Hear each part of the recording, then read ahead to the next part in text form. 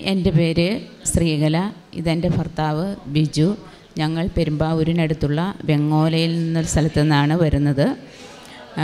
ഞാനിവിടെ രണ്ടായിരത്തി പത്തൊമ്പതിലാണ് ആദ്യമായി ഉടമ്പടി എടുത്തത്. അത് ഞാൻ ജോലി ചെയ്യുന്നൊരു സ്ഥാപനത്തിലെ സുഹൃത്തുക്കൾ പറഞ്ഞിട്ടാണ് വന്നത്. അന്ന് ഞാൻ തൊണ്ണൂറ് ദിവസം കഴിഞ്ഞ് ഉടമ്പടി പുതുക്കാനായിട്ട് വന്നു. അപ്പോൾ എനിക്കതിന് സാധിച്ചില്ല. കാരണം അന്ന് ഹിന്ദുസിനെ പുതുക്കുന്നില്ല പ്രാർത്ഥിച്ചാൽ മതി എന്ന് എന്നാണ് എന്നോട് പറഞ്ഞു വിട്ടത്. അതിനുശേഷം പിന്നെ ഞാൻ പ്രാർത്ഥിക്കുകയൊക്കെ ചെയ്യുന്നുണ്ടായിരുന്നു. പക്ഷേ ഇതിൽ അത്ര സജീവമായിരുന്നില്ല. എങ്കിലും നമ്മളൊരു തവണ ഉടമ്പടി എടുത്താൽ അമ്മ മാതാവ് നമ്മുടെ പ്രതിസന്ധിയിൽ കൂടെ ഉണ്ടാകുമെന്ന ഒരു സാക്ഷ്യമാണ് ഞാനിപ്പോൾ ആദ്യമായിട്ട് പറയുന്നത്. രണ്ടായിരത്തി ഇരുപത്തി ഒന്നിൽ എന്റെ മദർ ഇൻ ലോ വീണ് ഹിപ്പ് ഫ്രാക്ചർ ആയിരുന്നു എന്നിട്ട് കോട്ടയം മെഡിക്കൽ കോളേജിൽ സർജറി ചെയ്തു. അപ്പോൾ സർജറിയുടെ സമയത്ത് ഈ ബ്ലഡിന്റെ കട്ടകൾ റൊട്ടേറ്റ് ചെയ്ത് ശ്വാസകോശത്തിൽ ആയിപ്പോയി. അപ്പോൾ ഓക്സിജൻ വയ്ക്കാതെ ശ്വസിക്കാൻ പറ്റുമായിരുന്നില്ല. ഓക്സിജന്റെ ഇത് എടുത്തു കഴിയുമ്പോഴേക്കും സാച്ചുലേഷന്റെ അളവ് എഴുപത്തി അഞ്ചിലേക്കൊക്കെ താന്നു പോകുമായിരുന്നു. അപ്പോൾ ഒരു രണ്ടാഴ്ചയൊക്കെ അവിടെ കിടന്നു കഴിഞ്ഞപ്പോൾ അവർ പറഞ്ഞു ഇനി ഞങ്ങൾക്ക് ഇവിടെ ഒന്നും ചെയ്യാനില്ല. അപ്പോൾ നിങ്ങൾ വീട്ടിൽ കൊണ്ടുപോയി ഓക്സിജൻ വെച്ച് നോക്കുക. അല്ലെങ്കിൽ അടുത്തുള്ള ഏതെങ്കിലും താലൂക്ക് ആശുപത്രിയിൽ കൊണ്ടുപോയിട്ട് ഇതുപോലെ തന്നെ നോക്കുക എന്ന് പറഞ്ഞു. അപ്പോൾ ഞങ്ങൾ സാമ്പത്തികമായി ഒരുപാട് കഷ്ടത അനുഭവിക്കുന്നവരാണ്. ഞങ്ങൾക്ക് ജോലിക്ക് പോകാതെ ഞങ്ങളുടെ വീട്ടിലെ കാര്യങ്ങളൊന്നും നടക്കില്ല. ഇപ്പം എന്റെ ഹസ്ബൻഡാണിത് ഹസ്ബൻഡിന് സുഖമില്ലാത്ത ആളാണ്. ജോലിക്ക് പോകുന്നില്ല.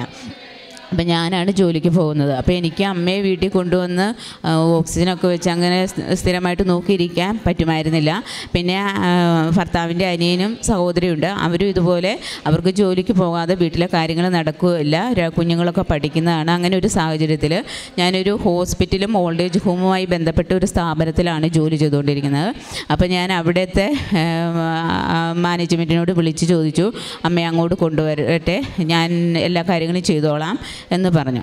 അപ്പോൾ അവർ ആദ്യ ഒരു ഇരുപത്തിയൊന്ന് വയസ്സ് മുതൽ ഞാൻ ആ സ്ഥാപനത്തിൽ ജോലി ചെയ്യുന്ന ആളാണ്. ഇപ്പം അന്ന് എന്തോ ഒരു തെറ്റിദ്ധാരണയുടെയൊക്കെ പേരിൽ ഒരു ചെറിയൊരു ഇതൊക്കെ ഉണ്ടായിട്ടായിരുന്നു അവർ കുറേ ഒബ്ജക്ഷനൊക്കെ പറഞ്ഞെങ്കിലും കുറേ പറഞ്ഞു. പിന്നീട് അവർ അതിനെ സമ്മതിച്ചു. അപ്പോൾ അങ്ങനെ ഞാൻ ഒരുപാട് മനസ്സ് വേദനിച്ചാണ് ഞാൻ ഇത് കാരണം എല്ലാ കാര്യങ്ങളും അവിടെ ജനുവരി പതിനഞ്ചാം തീയതിയാണ് രണ്ടായിരത്തി ഇരുപത്തിയൊന്ന് ജനുവരി പതിനഞ്ചാം തീയതിയാണ് കോട്ടയം മെഡിക്കൽ കോളേജിൽ നിന്ന് ഡിസ്ചാർജ് ചെയ്ത് അമ്മയെ ഞാൻ ജോലി ചെയ്യുന്ന സ്ഥാപനത്തിലേക്ക് ആക്കുന്നത്. അപ്പോൾ അവിടെ വന്ന് ഒരുപാട് മനസ്സിന് എനിക്ക് ഒരുപാട് ബുദ്ധിമുട്ടുണ്ടാകുന്ന ചില സാഹചര്യങ്ങളൊക്കെ ഉണ്ടായി. എങ്കിലും അതൊരു അത്ഭുതം എന്ന പോലെ ഒരാഴ്ച കൊണ്ട് ഓക്സിജൻ വെക്കാതെ തന്നെ ശ്വസിക്കാമെന്നൊരവസ്ഥയിലേക്ക് അമ്മയായി. അത് അത് കഴിഞ്ഞ് ഒരു മാ ഒരു മാസത്തെ നിരീക്ഷണത്തിന് ശേഷം വീട്ടിലേക്ക് കൊണ്ടുപോകാനും സാധിച്ചു. അമ്മ മാതാവിന്റെ ഒരു വലിയ ഇടപെടലാണ് അവിടെ ഉണ്ടായത്. പിന്നെ ഇപ്പോൾ അമ്മ വളരെ ഹാപ്പി ആയിട്ട് വോക്കറെ പിടിച്ചാണെങ്കിലും വീട്ടിലെ കാര്യങ്ങളൊക്കെ നടത്താനും തുണി മടക്കി വയ്ക്കാനും കറിക്കരിഞ്ഞ് തരാനും ഒക്കെയുള്ള കാര്യങ്ങളൊക്കെ ചെയ്യുന്നുണ്ട്. അപ്പോൾ ജീവിതത്തിലേക്ക് തിരിച്ചു കിട്ടുമെന്ന് ഒരിക്കലും പ്രതീക്ഷിച്ചതല്ല. പക്ഷേ അത്രയും വലിയൊരു അനുഗ്രഹം അമ്മ മാതാവ് ചെയ്തു തന്നു. അതിനുശേഷം പിന്നെ രണ്ടായിരത്തി ഇരുപത്തി മൂന്ന് ഏപ്രിൽ നാലാം തീയതിയാണ് ഞാനിവിടെ വരുന്നത്. അപ്പോൾ ഇവിടെ വരുമ്പോൾ പഴയ ഉടമ്പടി ഞാൻ കൊണ്ടുവന്നിട്ടുണ്ടായിരുന്നു. അപ്പോൾ ഇവിടുത്തെ ചെറിയ അച്ഛനോട് പറഞ്ഞപ്പം പറഞ്ഞു ആ ഉടമ്പടി തന്നെ പുതുക്കിയാൽ മതിയെന്ന് എന്റെ അടുത്ത് പറഞ്ഞു. അപ്പോൾ അങ്ങനെ രണ്ടായിരത്തി പത്തൊമ്പതിലെ ആ ഉടമ്പടിയാണ് ഞാൻ രണ്ടായിരത്തി ഇരുപത്തി മൂന്ന് ഏപ്രിൽ നാലാം തീയതി പുതുക്കിയത്. അങ്ങനെ പുതുക്കി കഴിഞ്ഞിട്ട് എനിക്ക് ആദ്യം കിട്ടിയ ഒരു അനുഭവം എന്ന് പറയുന്നത് ഞാൻ ഒരു വീട് പണിതായിരുന്നു. വീടിന്റെ പണിയൊന്നും പൂർത്തിയായിട്ടില്ല. എങ്കിലും ഒരു വീട് പണിത്. പന്ത്രണ്ട് വർഷമായിട്ട് ഞങ്ങൾ വാടകയ്ക്ക് താമസിക്കുകയായിരുന്നു. അപ്പോൾ അങ്ങനെ ഇപ്പം ഞങ്ങളുടെ വാഷ് ബേസിൻ അടുക്കളയിൽ വെച്ചിരിക്കുന്ന വാഷ് ബേസിന്റെ അടി മുഴുവൻ ചോർച്ചയാണ് ചോരുവാണ്. അപ്പോൾ രണ്ട് ബക്കറ്റൊക്കെ ഞാൻ അതിന്റെ അടിയിൽ വെച്ച് വെച്ചാലും നേരം വെളുക്കുമ്പോഴത്തേക്കും അത് നിറഞ്ഞു വരും. അപ്പോൾ ഞാൻ ഉടമ്പടി എടുത്തിരുന്ന് രണ്ട് മൂന്ന് ദിവസം കഴിഞ്ഞപ്പോഴത്തേക്കും അതിലെ ചോർച്ച അങ്ങ് നിന്നു. അപ്പോൾ ഞാൻ കുറച്ച് ആളുകളെയൊക്കെ വിളിച്ച് പണിക്കാരെ വിളിച്ച് കാണിച്ചപ്പോൾ അവർ അത് അഴിച്ച് പണിയണം അങ്ങനെ കുറേ കാര്യങ്ങൾ പറഞ്ഞു. അപ്പോൾ എന്റെ കയ്യിലാണെങ്കിൽ അതിനുള്ളൊരു നിവൃത്തി ഉണ്ടായില്ല. അപ്പോൾ അത് ഈ ചോർച്ച അങ്ങ് നിന്നു. അപ്പോൾ ഞാൻ വീട്ടിലിങ്ങനെ പറഞ്ഞു ഞാൻ ഉടമ്പടി എടുത്തു വന്ന് രണ്ട് മൂന്ന് ദിവസം കഴിഞ്ഞപ്പോഴത്തേക്ക് ഈ ചോർച്ചയൊക്കെ മാറിയെന്ന് പറഞ്ഞു.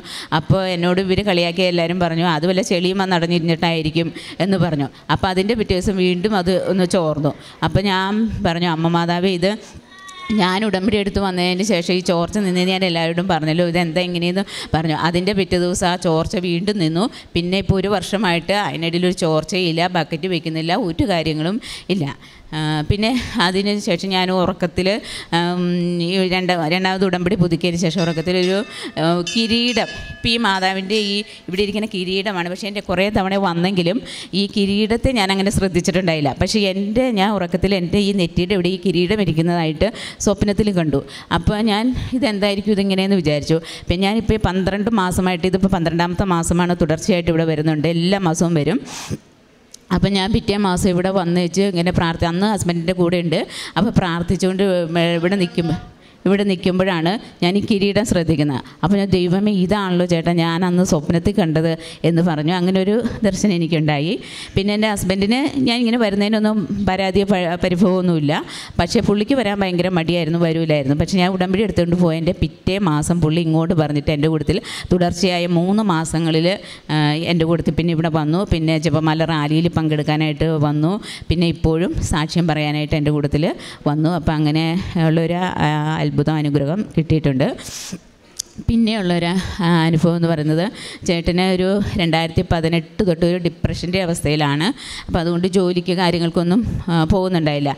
ഓരോരുത്തർ എവിടെയെങ്കിലും കടയിലൊക്കെ എന്തെങ്കിലും ഒരു ജോലി വാങ്ങിച്ചു തരാൻ വീട്ടിലിരിക്കാതെ ഒന്ന് പോകാൻ പറഞ്ഞു കഴിഞ്ഞാൽ എന്ത് ചെയ്താലും പോകില്ലായിരുന്നു പുറത്തേക്ക് ഇറങ്ങി ഒരു ജോലിക്ക് പോകാനും എന്നെ നല്ല ആശാരിപ്പണിക്കാരൻ എന്നെ ഒരു കുത്തുപണികളൊക്കെ ചെയ്തുകൊണ്ടിരുന്ന നല്ലൊരു പണിക്കാരനായിരുന്നു. എന്നിട്ട് ഒന്നിനും പോകാത്തൊരവസ്ഥയായിരുന്നു.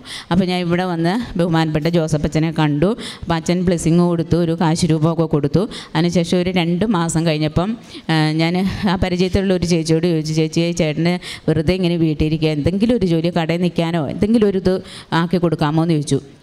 അപ്പോൾ ആ ചേച്ചി ചോദിച്ചു തൊഴിലുറപ്പിന് പോരുമോ ബിജു? അങ്ങനെയാണെങ്കിൽ അതിന് ചേർക്കാമെന്ന് പറഞ്ഞു. അപ്പോൾ ഞാൻ ചേട്ടനോട് ചോദിച്ചപ്പോൾ പറഞ്ഞു ആ ഞാൻ പൊക്കോളാന്ന് പറഞ്ഞു. അപ്പോൾ അതിന്റെ പിന്നീട് അതിന്റെ ഇതെല്ലാം ശരിയാക്കി ഇപ്പോൾ തൊഴിലുറപ്പ് പണിക്കായിട്ടായാലും പോകുന്നുണ്ട്. അപ്പം അതിലൊരു ചെറിയ വരുമാനം അങ്ങനെ കിട്ടുന്നുണ്ട്.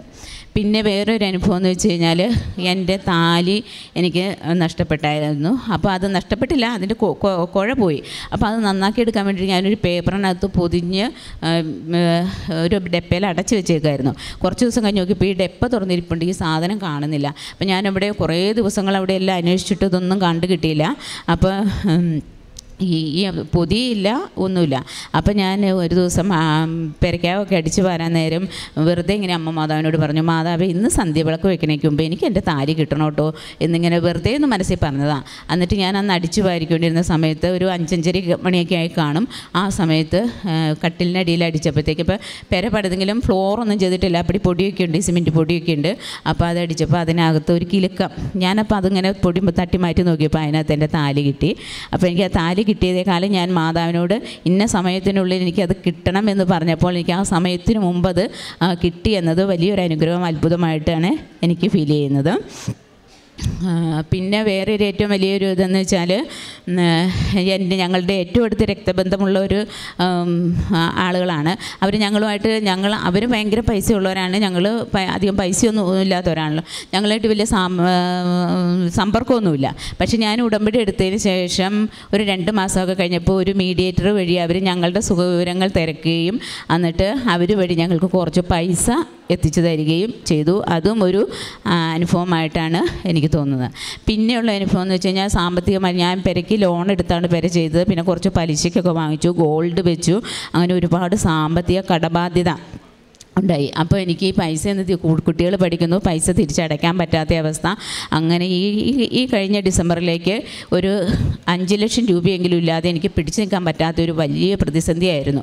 അപ്പോൾ അങ്ങനെ പ്രതിസന്ധിയിൽ വിഷമിച്ച് ഞാൻ നിൽക്കുന്ന എന്ന സമയത്ത് വീണ്ടും അച്ഛനെ കാണാനായിട്ട് ഇവിടെ വന്ന് എടുത്തു. അച്ഛനെ കാണാൻ സാധിച്ചു. അപ്പം ഡിസംബർ അഞ്ചാം തീയതി ബഹുമാനപ്പെട്ട ജോസഫ് അച്ഛനെ കണ്ടു.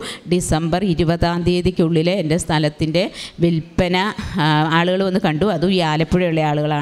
അവർ വന്ന് സ്ഥാനം ഞങ്ങൾ പെരുമ്പാവൂർ ബംഗോലെ സ്ഥലത്തിലാണ് താമസിക്കുന്നത്. ആലപ്പുഴയുള്ള ആളുകളാണ്. അവരവിടെ വന്ന് ഞങ്ങളുടെ സ്ഥലത്തിന് വാക്ക് പറഞ്ഞു. ഇരുപതാം തീയതിക്കുള്ളിൽ അഡ്വാൻസ് കിട്ടി. അങ്ങനെ എന്റെ ആ പ്രതിസന്ധി എനിക്ക് മറികടക്കാൻ സാധിച്ചു. അത് വലിയൊരു അത്ഭുതമാണ്. പിന്നീടുള്ളത് അപ്പോൾ ഞാൻ ഈ സ്ഥലം കൊടുത്തു വീടും കൂടിയാണ് കൊടുത്തത്. ഈ വരുന്ന ഓഗസ്റ്റ് ഇരുപത്തിയൊന്നാം തീയതിയാണ് ബാക്കി പൈസ കിട്ടി അതിന്റെ ആധാരമൊക്കെ നടക്കുകയുള്ളൂ അപ്പോഴാണ് ഞങ്ങൾക്ക് ഇനി ഒരു വേറെ ഒരു വീട്ടിൽ കുറിച്ച് ചിന്തിക്കാൻ പറ്റുള്ളൂ. അപ്പോഴും എന്നോട് ആളുകൾ ചോദിക്കും ഇനി ഇത് വിറ്റിട്ട് ഇനി എങ്ങോട്ട് പോകും? ഇനിയും വാടകയ്ക്ക് പോകാനാണോ എന്ന് അപ്പം ഞാൻ പറഞ്ഞു എന്റെ ഇല്ല അമ്മ മാതാവ് അതിന് മുമ്പായിട്ട് എനിക്ക് അതിനുള്ള വഴി ഒരുക്കി തരും. എന്റെ മോനൊരു ജോലി കിട്ടിയാലും എനിക്കത് എന്റെ കാര്യങ്ങൾ മുന്നോട്ട് നീക്കാൻ പറ്റുമെന്ന് പറഞ്ഞു. അത്ഭുതമെന്ന് പറയട്ടെ. ഒരു എന്റെ മോൻ പോളിടെക്നിക്ക് സിവിൽ എഞ്ചിനീയറിങ് കഴിഞ്ഞ് പഠിച്ചിറങ്ങിയേ ഉള്ളൂ. അപ്പോൾ എന്റെ ഒരു ഫ്രണ്ട് എഞ്ചിനീയറുണ്ട്. അപ്പോൾ ആ പുള്ളിക്കാരത്തിയോട് ഞാൻ വെറുതെ ഈ മാസം പന്ത്രണ്ടാം തീയതി വിളിച്ചു ചോദിച്ചു മോൻ ഇങ്ങനെ പഠിച്ചിറങ്ങി എന്തെങ്കിലും ജോലിക്ക് എന്തെങ്കിലും സാധ്യതയുണ്ടോ ബിന്ദു? എന്ന് ചോദിച്ചു. അപ്പോൾ പറഞ്ഞു അപ്പം ആ സമയം അവരുടെ എം ഡിയും ആ എഞ്ചിനീയറും കൂടി ആ ആഴ്ചയിൽ ഒരു എഞ്ചിനീയർ റിസൈൻ ചെയ്യാനിരിക്കുകയാണ്. ഒരാളെ എടുക്കുന്നതിനെക്കുറിച്ചുള്ള ഡിസ്കഷനിലായിരുന്നു. എന്റെ ഈ ഫോൺ ചെയ്യുന്ന സമയത്ത് അപ്പം തന്നെ പറഞ്ഞു കൊച്ചിന്റെ ബയോഡേറ്റ ഒന്ന് അയച്ചു തരാമോ എന്ന് ചോദിച്ചു. അപ്പോൾ തന്നെ ബയോഡേറ്റ അയച്ചു കൊടുത്തു. പിറ്റേ ദിവസം ഇന്റർവ്യൂവിന് ചെല്ലാൻ പറഞ്ഞു. എറണാകുളത്ത് മരടിൽ വെച്ചിട്ടായിരുന്നു ഇന്റർവ്യൂ അതിനുശേഷം പിറ്റേ ദിവസം ജോയിൻ ചെയ്യാൻ പറഞ്ഞു. അപ്പോൾ പിറ്റേ ദിവസം ജോയിൻ ചെയ്തു. ഈ കഴിഞ്ഞ പതിനാലാം തീയതി അവൻ സൈറ്റിൽ പോയി പോയി. അപ്പോൾ അവനൊരു ആഡ് ഓൺ കോഴ്സും കൂടി ചെയ്യുന്നുണ്ട്. അത് പൂർത്തിയായിട്ടില്ല. അതിനു മുമ്പ് തന്നെ അവന് ജോലിക്ക് കയറാൻ പറ്റി. അതിനേക്കാൾ വലിയൊരു അത്ഭുതം ഓഫീസ് എറണാകുളത്താണ്. എങ്കിലും അവന് കിട്ടിയ അവരുടെ ഒരു പ്രോജക്റ്റ് ഞങ്ങൾ ഞങ്ങൾ താമസിക്കുന്ന ബംഗോളിൽ ഒരു പത്ത് മിനിറ്റ് ദൂരേ ഉള്ളൂ. അവിടെയാണ് അതിന്റെ ഒരു ഒരു വില്ലയുടെ പ്രോജക്റ്റ് ഉണ്ട്. അവിടെ ആ സൈറ്റിലേക്കാണ് അവന് നിയമനം കിട്ടിയേക്കുന്നത്. അതുകൊണ്ട് വീട്ടിൽ വന്ന് ഭക്ഷണം കഴിച്ചിട്ട് പോകാനൊക്കെയുള്ള സമയമുണ്ട്. അപ്പോൾ ഏറ്റവും വലിയൊരു അനുഗ്രഹമാണ് ഇത്രയും അടുത്തൊരു സൈറ്റിൽ അവന് കിട്ടുക എന്ന് പറഞ്ഞത്. അപ്പോൾ അങ്ങനെയൊക്കെ ദൈവം അമ്മ മാതാവ് ഒരുപാട് അനുഗ്രഹങ്ങൾ ഞങ്ങൾക്ക് തന്ന് അനുഗ്രഹിച്ചിട്ടുണ്ട്. പിന്നെ പ്രേക്ഷിത പ്രവർത്തനം എന്ന് പറയുന്നത് ഞാൻ യൂട്യൂബിനകത്ത് സാക്ഷ്യങ്ങളൊക്കെ കേൾക്കും. എല്ലാം ഞാൻ ഒരു പത്തിരുപത് പേർക്കെങ്കിലും ഒരു ദിവസം ഞാൻ ഷെയർ ചെയ്യും. വിദേശത്തുള്ള ഫ്രണ്ട്സിനുമൊക്കെ ഷെയർ ചെയ്യും. പിന്നെ പത്രം വാങ്ങിച്ച് വിതരണം ചെയ്യും. അങ്ങനെയുള്ള പിന്നെ അച്ഛന്റെ വചനം കേൾക്കും ഇതൊക്കെ ചെയ്യാറുണ്ട്. പിന്നെ ബൈബിളാണെങ്കിലും ഞാൻ ഹിന്ദു ആണ് എങ്കിലും ഞാൻ സുവിശേഷം ഈ മത്തായിയുടെ സുവിശേഷം മർക്കോസിന്റെ സുവിശേഷം യോഹന്നാന്റെ സുവിശേഷം ലൂക്കോസിന്റെ സുവിശേ ഏഹ് സുവിശേഷം. ഇതെല്ലാം ഒരു മൂന്നാവർത്തിയെങ്കിലും വായിച്ച് തീർത്തിട്ടുണ്ട്. അതുപോലെ തൊണ്ണൂറ്റിയൊന്നാം സങ്കീർത്തനം എനിക്ക് മനഃപ്പാഠമാണ്. അമ്പത്തിയൊന്നാം സങ്കീർത്തനം എല്ലാ ദിവസവും ഞാൻ പ്രാർത്ഥനയുടെ കൂടെ ചെല്ലുന്നുണ്ട്. അങ്ങനെ പ്രാർത്ഥനകളെല്ലാം. രാവിലത്തെ അരമണിക്കൂർ പ്രാർത്ഥനയും വൈകിട്ട് അരമണിക്കൂറിൽ കൂടുതലും പ്രാർത്ഥന മുടങ്ങാതെ സുഖ അസുഖമാണെങ്കിൽ പോലും ഞാൻ എങ്ങനെയായിരുന്നു ആ പ്രാർത്ഥനകളൊക്കെ ഞാൻ ചൊല്ലിയെത്തിക്കുന്നുണ്ട് പിന്നെ കാരുണ്യ പ്രവൃത്തികൾ ഞാനൊരു ഓൾഡ് ഏജ് ഹോമുമായി ബന്ധപ്പെട്ടാണ് ജോലി ചെയ്യുന്നത്. ഓൾഡ് ഏജ് ഹോമും ഹോസ്പിറ്റലുമാണ് അപ്പോൾ ഇടയ്ക്ക് ഹോസ്പിറ്റലിലേക്കും കൂടുതൽ ചാർജ് എനിക്ക് ഓൾഡ് ഏജ് ഹോമിൽ തന്നെയാണ്. അപ്പോൾ അവിടെ ഞാനൊരു എ എൻ എം സ്റ്റാഫാണ് അപ്പോൾ അവിടെ ഒരു നേഴ്സിങ്ങിന്റെ ജോലിയാണ് എനിക്ക്. അപ്പോൾ അവിടെ ക്ലീനിങ് സ്റ്റാഫുണ്ട് അവർക്കാണ് സാധാരണ ചെയ്താൽ മതിയെന്ന കാര്യങ്ങളാണ്. പക്ഷേ ഞാൻ അവരെ കൊണ്ട് ചെയ്യിക്കാറില്ല ഞാൻ എന്റെ ഡ്യൂട്ടിയിലുള്ള സമയത്ത് ബെഡിഡനായിട്ട് കിടക്കുന്ന പേഷ്യൻസ് അവർക്ക് മോഷൻ പോകും അങ്ങനെയൊക്കെ ചെയ്യേണ്ട ഒരു സാഹചര്യം വന്നു കഴിഞ്ഞാൽ ഞാനുള്ളതാണ് അവർക്ക് സന്തോഷം. അപ്പോൾ അവർ പറഞ്ഞ് അവർ തിരിച്ചെടുത്ത് ഒരു പേപ്പർ വെച്ച് ഞാൻ തന്നെ കൈകൊണ്ട് അത് വാങ്ങി എടുത്താണ്. അത്ര ഇതായിട്ടാണ് ഞാൻ ഓരോ പ്രേക്ഷ അവർക്കുടെ കാരുണ്യ പ്രവൃത്തികളൊക്കെ ചെയ്യുന്നത്. പിന്നെ ഞങ്ങളൊരു ചാരിറ്റി ഗ്രൂപ്പുണ്ട്. ആ ഗ്രൂപ്പിനകത്ത് ഞങ്ങൾ പെരുമ്പാവൂർ താലൂക്ക് ആശുപത്രിയിൽ എല്ലാ മാസവും മൂന്നാമത്തെ തിങ്കളാഴ്ചയും നാലാമത്തെ ബുധനാഴ്ചയും ഭക്ഷണം കൊടുക്കുന്നുണ്ട്. അപ്പോൾ ആ ഗ്രൂപ്പിനകത്ത് കുറേ ആളുകളുണ്ട്. എല്ലാ പ്രാവശ്യമൊന്നും എനിക്ക് ഭക്ഷണം കൊടുക്കാനൊന്നും പറ്റാറില്ല. എങ്കിലും പറ്റുന്ന സമയത്ത് എനിക്ക് ഓഫൊക്കെ ഉള്ള സമയത്ത് ഞാൻ ചോറ് വെച്ച് കറിയോ അങ്ങനെയൊക്കെ എന്തെങ്കിലും കൊണ്ടു കൊടുക്കും. അങ്ങനെ പറ്റുന്ന കാരുണ്യ പ്രവൃത്തികളും ഒക്കെ ഞാൻ ചെയ്യുന്നുണ്ട്. ഈശോയ്ക്കും മാതാവിന് തിരുക്കുമാരനും കോടാനുകൂടി നന്ദി അർപ്പിച്ചുകൊണ്ട് നിർത്തുന്നു. ഈ സാക്ഷ്യം നമ്മൾ പ്രാർത്ഥനയിൽ വിലയിരുത്തുമ്പോഴേക്കും ഈ പറയുന്ന കാര്യങ്ങൾ നിങ്ങൾ ശ്രദ്ധിച്ച് കേൾക്കുമ്പോൾ അത് ഓരോ ദിവസത്തെയും ജീവിതത്തിന്റെ പല സംഭവങ്ങളും അതിപ്പം ഒരു ചെറിയ അടയാളമായിട്ട് വീട്ടിൽ സംഭവിച്ച കാര്യങ്ങളും ഒപ്പം ആശുപത്രിയിൽ ലഭിച്ച വലിയൊരു സൗഖ്യത്തിന്റെ കാര്യവും ഒപ്പം തന്റെ മകനുമായിട്ട് ബന്ധപ്പെട്ടൊരു തൊഴിലിന്റെ കാര്യവും അതും എല്ലാം സമയം ബന്ധിതമായിട്ട് വീടിനടുത്ത് തന്നെയൊക്കെ ക്രമപ്പെട്ടു. അതിലൊക്കെ മാതാവിന്റെ ഒരു സാന്നിധ്യമുണ്ട് എന്നുള്ളത് സംസാരം സാക്ഷ്യം പറയുമ്പോഴും ആ സാക്ഷ്യത്തിനെ ബലപ്പെടുത്തുന്ന തരത്തിലുള്ളൊരു ദർശനത്തിന്റെയും മാതാവിന്റെ ഒരു സ്വപ്നത്തിന്റെയും ഒരു പിൻബലമുണ്ട്. അപ്പം ഇതിൽ ഉടമ്പടിയുടെ ഇടപെടലുണ്ട് എന്നുള്ള ബോധ്യപ്പെടുത്തുന്നത് ഒരു ഒരുപാട് ഘടകങ്ങളിൽ രണ്ട് ഘടകങ്ങളാണത്. ഒപ്പം കൂടെ നിൽക്കുന്ന ജീവിത പങ്കാളിയുടെ ജീവിതത്തിന്റെ ഒരു പ്രത്യേകമായ സാഹചര്യത്തിൽ ഈ അൾത്താരയിൽ വന്ന് ബഹുമാനപ്പെട്ട അച്ഛനെ കണ്ടു എന്ന് പറയുന്നതും അതും എല്ലാം നമ്മുടെ ഉടമ്പടിയുടെ ഘടകങ്ങളായിട്ടാണ് നമ്മൾ വായിച്ചെടുക്കുന്നത്. ഈ അൾത്താരെ സ്വപ്നം കണ്ടു എന്ന് പറയുന്നതും ബഹുമാനപ്പെട്ട അച്ഛനെ കണ്ടു എന്ന് പറയുന്നതും പരിശുദ്ധ അമ്മയെ ഈ മാതാവിനെ തന്നെ കണ്ടു എന്ന് പറയുന്നതും എല്ലാം ഉടമ്പടിയുടെ ഭാഗങ്ങളായിട്ട് ഉടമ്പടിയിലെ പരിശുദ്ധ അമ്മയുടെ പ്രത്യക്ഷീകരണവുമായിട്ട് ആണ് നമ്മൾ ചേർത്ത് വെച്ച് വായിക്കുന്നത്. അപ്പോൾ ഈ ഒരു സാക്ഷ്യത്തിലുടനീളം മാതാവിന്റെ സാന്നിധ്യം ഉണ്ടെന്നുള്ളതാണ്. ഈ ഘടകങ്ങളെല്ലാം സാന്നിധ്യമായിട്ടാണ് നമ്മൾ കരുതുന്നതും അതിൽ വായിക്കുന്നതും. അപ്പം മാതാവിന്റെ ഒരു സാന്നിധ്യത്തിന്റെ നിറവിൽ ലഭിച്ച അനുഭവങ്ങളാണ് ഇപ്പം എണ്ണി എണ്ണി പറഞ്ഞതും. പിന്നെ ഏറ്റവും അവസാനം വ്യക്തമായിട്ട് പറയണുണ്ട് ഇപ്പോൾ ഈ ഒരു അനുഭവത്തിലേക്ക് ഒരു വ്യക്തി ചെന്നെത്തുമ്പോൾ അത് വെറുതെ ഇവിടെ വന്ന് പ്രാർത്ഥിച്ച് ഉടമ്പടി എടുത്തു എന്നുള്ളൊരു ബലമല്ല. അത് അതാണ് ഇതിൽ പ്രധാനപ്പെട്ടത്.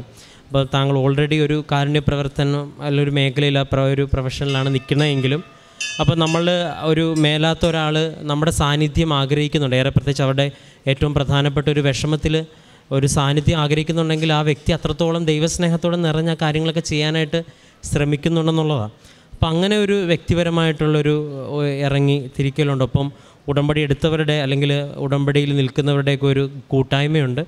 ഒപ്പം വ്യക്തിപരമായിട്ട് ഇപ്പം ഒരു ബൈബിൾ വായന ഒരുപക്ഷെ നിബന്ധനകളില്ല എങ്കിൽ പോലും വിശുദ്ധ ഗ്രന്ഥം ഉടമ്പടിയിൽ ഏറ്റവും കൂടുതൽ പ്രധാനപ്പെട്ടതാണെന്ന് ബോധ്യപ്പെടുന്ന തരത്തിൽ അമ്പത്തൊന്നും തൊണ്ണൂറ്റൊന്നാം സങ്കീർത്തനങ്ങളും സുവിശേഷങ്ങളെക്കുറിച്ചുമൊക്കെ ഇങ്ങനെ അനുദിനമുള്ള ബൈബിൾ വായന ഇതെല്ലാം ഉടമ്പടിയിൽ ഏറ്റവും പ്രധാനപ്പെട്ടതാണ് എന്നുള്ളൊരു ബോധ്യം ഈ സാക്ഷ്യത്തിലുണ്ട്. അപ്പോൾ ഇത്രയേറെ കാര്യങ്ങൾ ചെയ്യുമ്പോഴാണ് ഒരാൾ അനുഭവത്തിലേക്ക് കടന്നു വരുന്നതെന്ന് ഒരു വ്യക്തിയെ ബോധ്യപ്പെടുത്താൻ തന്നെയാണ്. ഒരു പക്ഷേ അവർ പറയാൻ വിട്ടുപോയാലും നമ്മളവർ പ്രേക്ഷിത പ്രവർത്തനവും കാരുണ്യ പ്രവർത്തനവും ചെയ്ത് എന്താണെന്ന് പറയാനായിട്ട് പറയുന്നത്. ഏറെ പ്രത്യേകിച്ച് ലഭിച്ച വിശ്വാസത്തിന്റെ ആഴത്തിനും പരിശുദ്ധ അമ്മയുടെ വ്യത്യസ്തങ്ങളായ ലഭിച്ച സാന്നിധ്യത്തിനെ ഓർത്തും ഇവർക്ക് ലഭിച്ച മറ്റെല്ലാ അനുഗ്രഹങ്ങളെ ഓർത്തും നമുക്ക് കരങ്ങളടിച്ച് ദൈവത്തിന്റെ നാമം മഹത്വപ്പെടുത്താം. അത്യപൂർവ ദൈവാനുഭവങ്ങൾ ഇനി നിങ്ങൾക്കും സ്വന്തം. യൂട്യൂബ് ചാനൽ ഇതുവരെ സബ്സ്ക്രൈബ് ചെയ്തിട്ടില്ലെങ്കിൽ ഇപ്പോൾ തന്നെ സബ്സ്ക്രൈബ് ചെയ്യുക. ഈ വീഡിയോ ഇപ്പോൾ തന്നെ നിങ്ങളുടെ സുഹൃത്തുക്കൾക്ക് ഷെയർ ചെയ്തുകൊണ്ട് കർത്താവിന്റെ പ്രേക്ഷിതരാകുക.